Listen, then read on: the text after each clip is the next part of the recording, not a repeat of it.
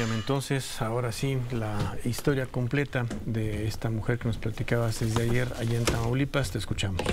Sí, ella la conocimos su caso porque empezaron a difundirlo la tarde del domingo en redes sociales ahí vamos a ver en, la pantalla, y me puse en contacto con ellos. Ella ingresó el día sábado al área de urgencias del hospital, del hospital del IMSS Bienestar eh, Carlos Canseco de Tampico, Tamaulipas, a las 9 de la noche.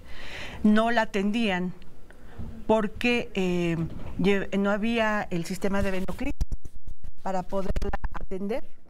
Ella llevaba un fuerte dolor derivado de su cáncer cervicouterino. Entrevistamos a su hermana, Pamela, quien nos dio los pormenores de lo que han tenido que pasar del sábado hasta el día domingo, en donde han tenido que comprar medicamentos, han tenido que comprar equipos para que Blanca pueda ser atendida y le calmen el dolor. Ella ya está desahuciada, no hay nada que la pueda curar de su cáncer, pero sí por lo menos algo que le calme, le calme el dolor. Vamos a escuchar esta primera parte de la entrevista de Pamela. Ella estaba con su hermana, justo en el área de cuidados paliativos. En el área de urgencias la verdad es que sí tienen un poco de, atención tardía. Ingresó y eh, habían pasado dos horas y aún no le suministraban ningún medicamento para su dolor. No había normogotero, que es, eh, son las mangueritas que usan para pasarle el medicamento. Y al parecer creo que no tenían suero también, la solución Harman. Me mandaron a buscar este los normogoteros, pero pues ya a esa hora ya no había farmacias que vendieran ese equipo, el equipo de venoclisis. Sí teníamos que comprarlo, ¿no? Así como otras cosas que nos han pedido, medicamentos y así. Principalmente eh, los parches de buprenorfina, que son los que ella normalmente usa este, a diario. Hoy los tuve que conseguir yo. ¿Cómo los conseguiste? ¿Los compraste? ¿Tenías el dinero?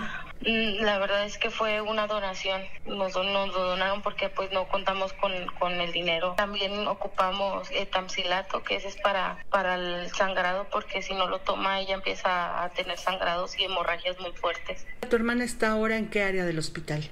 En el área de cuidados paliativos. ¿Qué les han dicho? Pues que sí está delicada de salud, que, que pues estemos preparados, ¿verdad? Porque pues sí está algo delicada, que no, no hay mucho por hacer más que pues controlarle su dolor.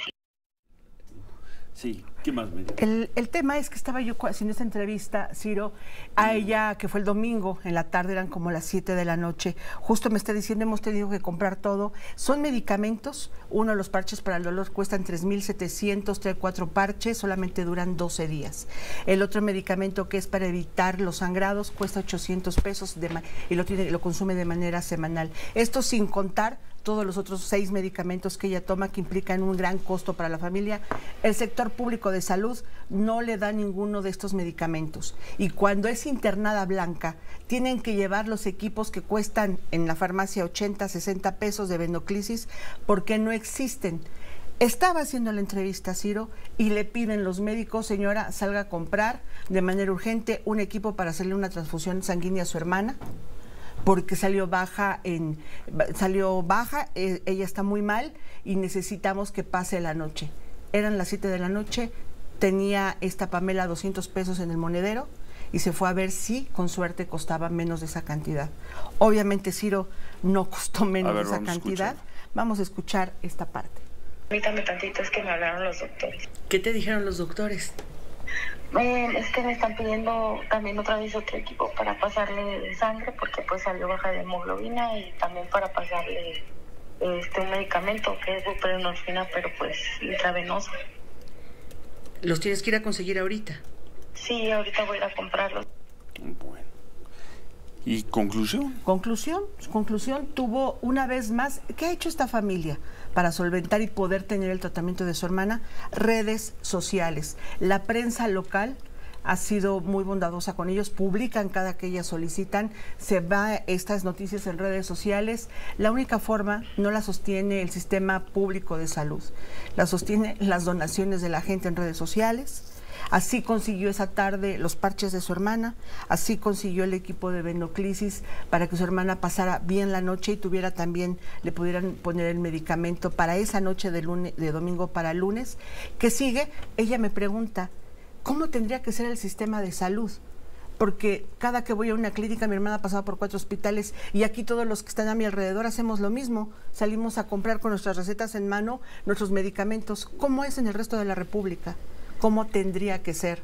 Esa es la pregunta casi al cierre del sexenio, cuando se nos ha prometido un sistema de salud como el Dinamarca, el caso de Pamela, de la hermana de Pamela, de Blanca, en Tampico, Tamaulipas, pensando que así es el sistema de salud y que compete a la familia solventar los gastos de medicamentos, instrumental e insumos hospitalarios. Esta es una tristeza y es el reflejo de nuestro... ¿Cuántos, ¿Cuántas familias ¿En hay qué mes en estamos? Estamos en junio. ¿De qué año? Del 2024. Cuatro meses. A ¿Qué unos tan meses de que lejos termine. está el junio 2024 de Dinamarca?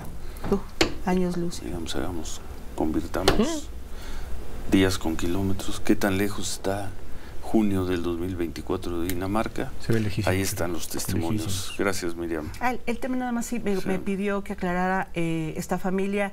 El tema es los medicamentos insumos. La atención médica en el área del Hospital Canseco de, de Cuidados Paliativos ha sido de primer nivel. Qué bueno. Médicos, enfermeros dando lo que pueden en la atención, pero no cuentan con lo indispensable para hacerla de, de verdadera calidad. Pues no.